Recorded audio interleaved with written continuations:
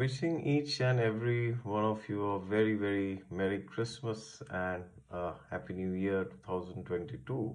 I hope and I wish and I pray to God that this new year brings auspiciousness for you and for everybody else, uh, materially, spiritually, mentally, socially, and from all perspectives uh, of human development and spiritual realization. But uh, as this year is ending, we have some special transits going on. I've recently made a lot of transit videos in the weekends, but I saw many of you have requested me for this one special video, which is the transit of Mars uh, and Ketu uh, together, uh, which I already spoke earlier. But uh, this is a special uh, day, 30th uh, of this month. Um, Mars is going to cross the degree of the eclipse, which just happened in the sign of Scorpio. And uh, on 17th of January next year 2022 uh, Mars is going to enter uh, the sign of Sagittarius. Okay so so till 17 January next year mid uh, January uh, you will uh, see that Mars and Rahu are actually in opposition and when Mars and Rahu are in opposition see you have to understand um, they say that Rahu behaves like Saturn and Mars behaves like Ketu, right? So why do they say this? Uh, now you will you will you will uh, sometimes feel that um, some planets behave like some other planets, right? so for example, sometimes uh, Mercury can behave like Venus. Venus can behave like Mercury sometimes. Uh, but uh, in this case, we have uh, Rahu that uh, behaves like Saturn and uh, Mars that behaves like Ketu. Now, what does this mean? Does it literally mean that you know they just become the other planet? No, it doesn't mean that.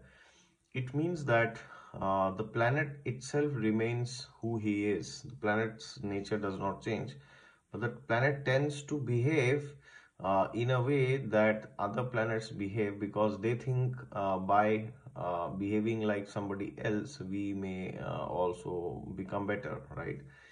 So because of that why does some uh, some they say that rahu behaves like saturn? Because see uh, rahu and saturn are both vayu tattva planets right? Wind. Wind is the energy. So therefore or air you could say right? So now uh, what does air represents? Air represents two things enjoyment and uh, suffering basically right?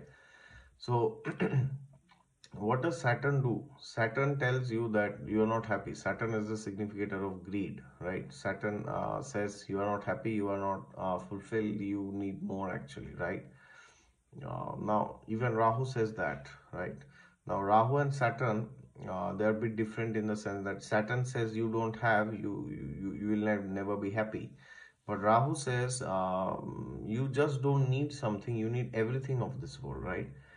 And then when you keep trying, trying, trying, trying, trying, and then there's a point uh, in your life which comes where you say, "Oh, that's it." You know, I, I, I thought I will get everything and be happy, but uh, I'm still unhappy, right? So uh, that that's where you become unhappy. So that's where the angle of enjoyment and suffering uh, as Bhagavad Gita says you know it's like together uh, in a particular horoscope in a person's life. And similarly with Ketu uh, Mars can behave like Ketu sometimes because Ketu is the significator of confusion and headlessness all right? It's more of like headlessness when uh, see confusion means uh, you see something and you don't know what you should decide right? But what if you don't see anything at all? That's like ketu right? It's totally headless like you, you don't know what should you do at all in life sometimes. So uh, during that during these times what what do people do sometimes? You know when they're headless they're confused you know they they either harm themselves or they harm somebody else you know or they commit violence towards others or maybe even towards themselves so even Mars, when uh, without when held without a direction, uh, headless, then the same planet can behave like Ketu sometimes. Okay.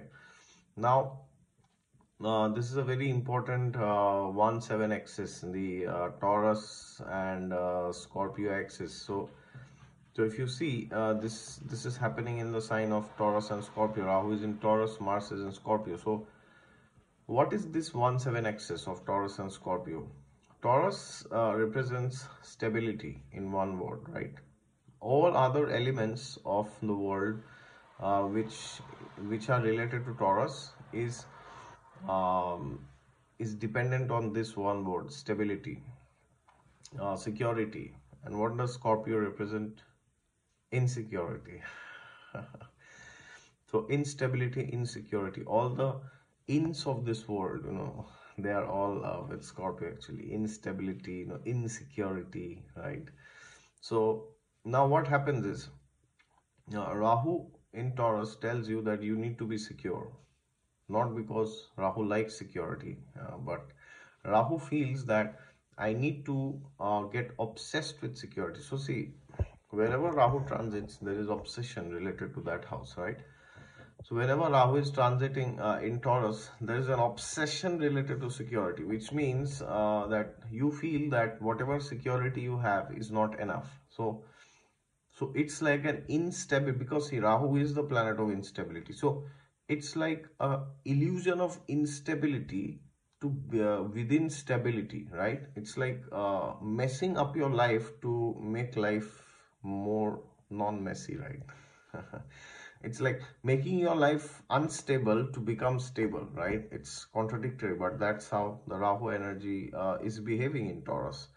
So uh, now what happens is when you have mars in the opposite sign of scorpio now ketu rules co-rules scorpio and mars also rules scorpio right and uh, we recently had this eclipse and on 30th as i said mars is going to cross this so now, what happens when Mars and Rahu are in opposition? The thing is, you got to understand that your obsession about security, which is apparently coming uh, through uh, instability, through insecurity because of Rahu and uh, Mars and Scorpio, can lead you to do things which you uh, may not like later on, which you may regret later. So, therefore, it is very important that you understand why you are doing what you are doing so if you feel that you are not happy in life as of now you need to become more stable more secure to become happy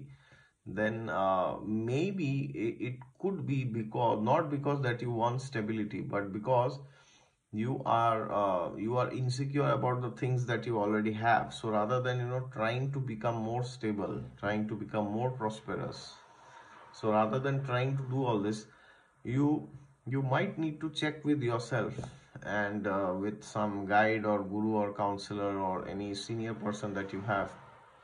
How much of the security that you think you need is actually your need right so when this mars rahu uh, 1 7 axis uh, transit is going on you you might feel that um, yes you you need this. Without this how can you be happy in life right? There's something in your life uh, especially related to the houses which mars rules in your chart depending on your ascendant. You may be feeling that this is not enough i need more and how can i be happy without having something right so your mind may uh, cheat you by telling you oh this is a basic bare minimum need for you right how can you be happy without this right you cannot be happy it's basic need for everybody but what we forget is this is not some Jupiterian energy or you know Mercurian energy. This is the energy of Rahu. Rahu is a very tamasic planet. It's um, because of that. What happens is whatever is your want, you feel as if it's your need, right? So there are two things in life. One is you know the wants, and the other one is the needs, right? Needs are like you know basic as they say, home, clothing, shelter, and like roti, kapra, makan, food, and all this uh, but uh, want is like you know oh i want a billion dollar mansion i want like you know a million trillion dollars i want like you know uh, to enjoy. I want to eat the best foods. I want to do whatever i want right? So so suppose it could happen if is if Mars is your fourth lord uh, it could happen that you already have a home but Rahu may tell you oh you will not be stable if you have this home. You need a bigger home right? I'm just giving a, a very simple example to explain. So because of that what happens is even if you have something you don't value it now. You feel this is something which everybody has and uh, why at all should I not uh, look for something better okay? But the problem with this is uh, this is just an illusion because the moment you get the next thing Rahu will again tempt you to go and do something else right? So you have to understand the agenda of Rahu the agenda of Rahu is to make you feel dissatisfied.